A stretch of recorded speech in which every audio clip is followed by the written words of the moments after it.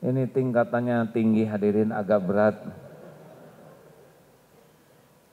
Kita masih masih merasa kalau menjadi besar amal kita itu sebuah kerugian. Contoh suksesnya kita belanja tuh kalau nawar. Dan menganggap orang yang tidak nawar itu bodoh. Hati-hati hadirin. Walaupun ada saatnya benar nawar untuk harga yang tidak pada sepatutnya. Harga layaknya 10 ribu dia tawarkan 50 ribu ya kita tawar kepada sepatutnya.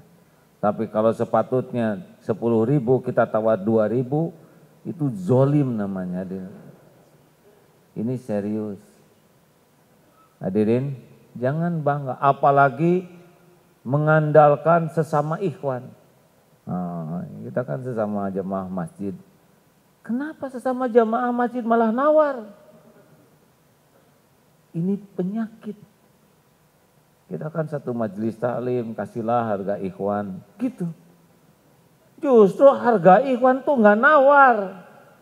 Kenapa sesama ikhwan jadi nggak rela saudaranya untung? Kita tuh salah dalam berpikir keuntungan. Untung tuh menurut kita tuh kita yang mendapat. Padahal untung tuh khairun nas anfa'uhum linnas. Sebaik-baik manusia yang memberi manfaat. Jadi mulai sekarang kalau kita ketemu dengan ladang amal, syukur. Kalau kita bisa beramal, syukur. Jangan diingat-ingat, jangan disebut-sebut, jangan menanti-nanti ucapan terima kasih.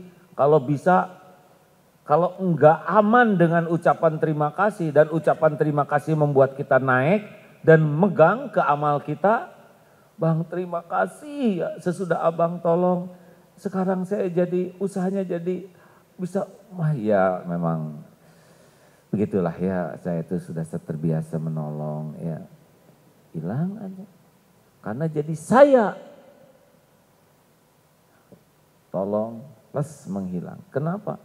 Karena kita yang berterima kasih kepada dia.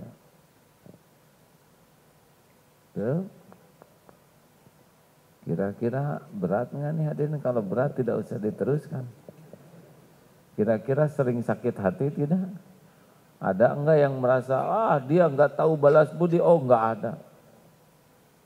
Sakit hati itu lebih dekat kepada tidak ikhlas. Ya. Orang yang ikhlas lillahi ta'ala, udah enggak ada sakit hati untuk urusan pribadi. Nah didin sekalian, jadi mulai sekarang kalau kita berbuat kebaikan, kita harus bersyukur kita yang jadi jalan.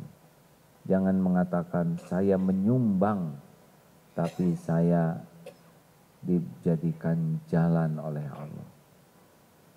Ingat, iya karena budu, wa iya karena nasta'in. Kalau iya karena budu artinya ikhlas. Hanya kepadamu kami mengabdikan diri, menyembah. Kalau ria hanya kepada orang kami mempersembahkan amalan. Kan begitu. Iya karena stain itu lawannya ujub. Hanya kepadamu kami memohon pertolongan. Artinya semua kekuatan itu dari Allah. Kalau kita merasa sudah menolong, nah berarti itu sudah ujub. Kira-kira bekal rada bahagia tidak nih kita kalau mengamalkan ini hadirin? Oh, jadi enggak ribet. Jadi kita lebih fokus dalam hidup ini memikirkan bagaimana bisa beramal dan bagaimana amal ini bisa diterima di awal, di tengah, dan di akhir. Karena awal bagus, tengah belum tentu selamat. Tengah sukses, ujung belum tentu. Makanya kita harus jelas dulu dalam hidup ini mau apa. Hidup kita ini kan wama a'udzubillahi minasyaitonirrajim az-zariyat 56 wama khalaqatul jinna wal insa illa liya'budun. Tidaklah sekali-kali kuciptakan jin dan manusia kecuali untuk beribadah, mengabdi ke Allah. Itu tujuan diciptakan. Dan kalau mati, yang dibawa adalah amal. Yang diterima amal soleh. Tuh. Ya sudah, sekarang hidup mah nggak usah ribet. Bagaimana bekerja jadi amal soleh, bekerja jadi ibadah yang bernilai amal soleh. Bagaimana bisnis itu amal soleh, Bagaimana berumah tangga itu menjadi bekal amal soleh kita. Ngurus anak itu amal soleh. Jadi suami itu adalah beramal soleh. Bukan urusan istri cinta menghargai. Ah itu mah kecil tapi penting. Ya kecil hadir. Tapi yang paling penting jadi amal soleh. Istri nggak ikut. Lah kita meninggal aja. Disimpan sekamar dengan istri. Gak mau. Coba kalau nanti suami meninggal, istri pasti nangis. Kata yang ngurus jenazah, ibu cinta sekali ya ke suami. Benar. Ya udah tuh, kan dikuburnya besok. Malam ini di kamar aja berdua dengan ibu. Dikunci dari luar. Mau nggak bu? Cinta palsu engkau ya.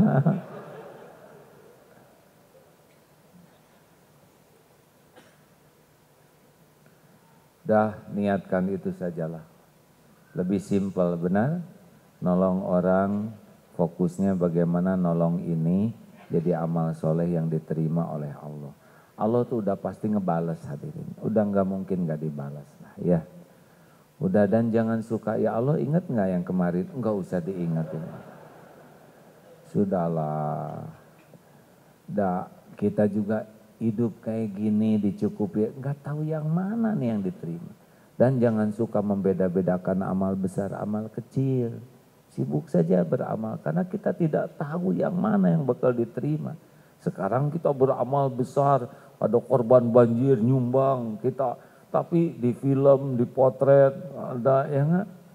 Atau nyumbang anak-anak yatim, padahal yang nyumbang orang lain, misalkan kita amplopnya ngasih yang dipotret kita, udah nggak ngasih, dipotret, dipasang di status. Ah, hati-hatilah hadirin.